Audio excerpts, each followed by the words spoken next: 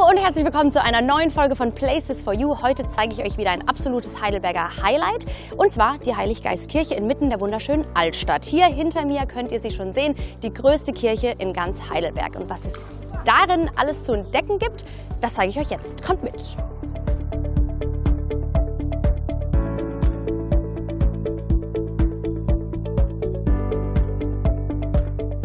Da wir während unserer Dreharbeiten mit sämtlichen Menschen in Kontakt kommen, möchten wir natürlich kein Risiko eingehen und haben daher nicht nur mich, sondern alle an diesem Video beteiligten Personen testen lassen. Während hinter der Kamera noch Masken getragen werden, lasse ich meine Maske heute weg, solange ich ausreichend Abstand halten kann. Wer einen Schnelltest machen möchte, kann ihn ganz einfach in der Apotheke oder im Drogeriemarkt kaufen. Zudem bietet Heidelberg zahlreiche Möglichkeiten, einen Schnelltest auch direkt von Fachpersonal durchführen zu lassen.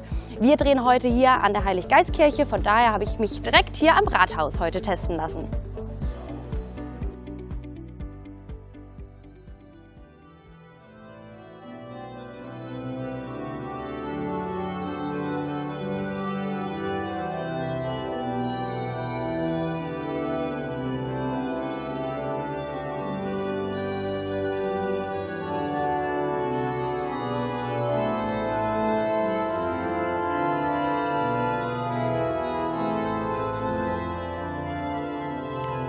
Können wir mal gucken gehen, wo diese wunderschöne Orgelmusik herkommt.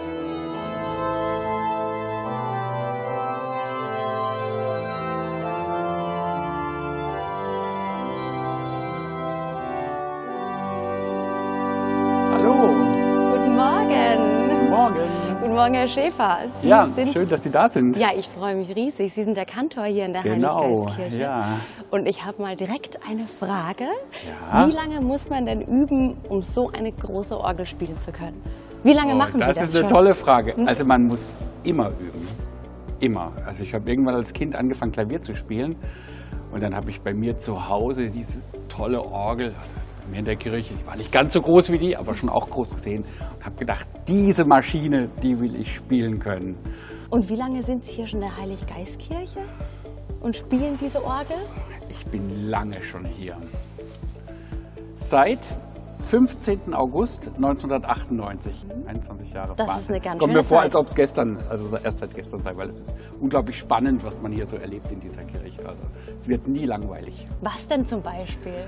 Vor ein paar Jahren waren die großen Reformationsjubiläen mit Tausenden von Menschen, mit hohem Besuch aus der ganzen Welt, aber doch ganz ergreifende ähm, Momente. Ich denke zum Beispiel an 9-11, als wir hier Mozart-Requiem aufgeführt haben. Zweieinhalbtausend Menschen in der Kirche, die ganze amerikanische äh, Community war damals da. Also ganz unterschiedlich, von unglaublich fröhlich und bewegend, aber auch so sehr ergreifende Momente. Vielen Dank, Herr Schäfer, für den wunderschönen Morgen und die wunderschöne Orgelmusik. Ja, und sehr gern. Sehr vielen, vielen Dank. Und ich schaue mich jetzt noch mal ein bisschen weiter um. Ja, viel Spaß. Dankeschön.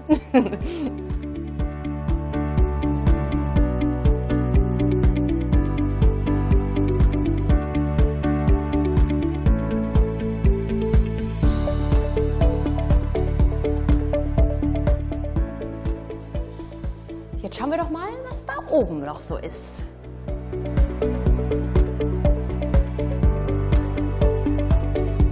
Hallo Olli. Guten Morgen, Sophia. Morgen. Du bist Gästeführer Stimmt, hier in Heidelberg, richtig? das ist korrekt.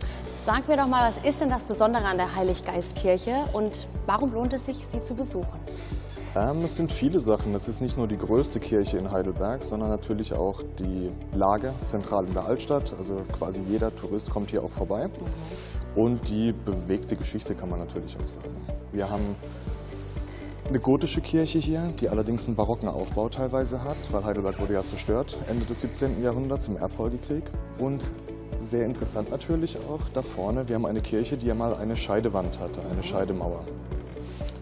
Und die stand tatsächlich bis 1936. Man kann sich das nicht mehr vorstellen heutzutage, aber die Katholiken wurden sozusagen in den Chor verbannt und die Protestanten waren hier im Schiff. Du zeigst uns jetzt auch noch mal ein paar besondere Stellen hier in der Kirche, richtig? Sehr gerne, ja. Okay, dann folge ich dir. Auf geht's. So,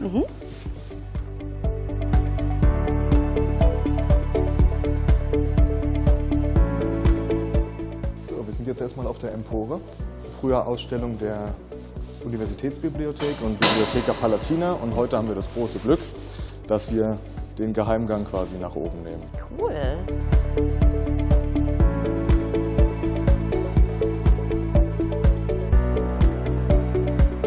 Was gibt's hierüber Spannendes zu erzählen? Es gibt einen wunderschönen Dachstuhl, wie du sehen kannst. Ja. Das Original, ursprünglich, die äh, originale Kirche von Anfang 14. Jahr, 15. Jahrhundert ist ja abgebrannt, ist der Dachstuhl. Darum, das ist natürlich nicht mehr zeitgemäß. Aber hier gibt es ein Loch, wo du in, die, in das Kirchenschiff reinschauen kannst.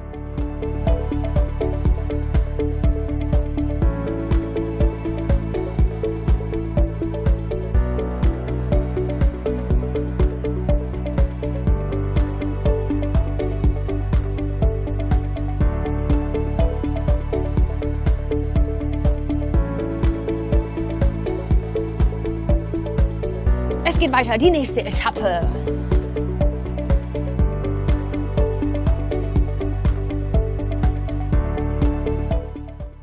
Also nochmal ganz speziell nur für uns heute. Oh ja. Wir stehen sogar vor den Glocken der Heiliggeistkirche.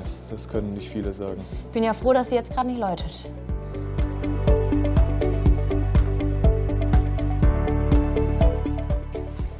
Dieser Holzkiste, wir müssen extrem leise sein, denn da sind die Falten drin, auch kleine Falten, Küken. Und äh, die kann man übrigens auch live verfolgen im Livestream. Wird hier eingeblendet. Dann könnt ihr live mit dabei sein.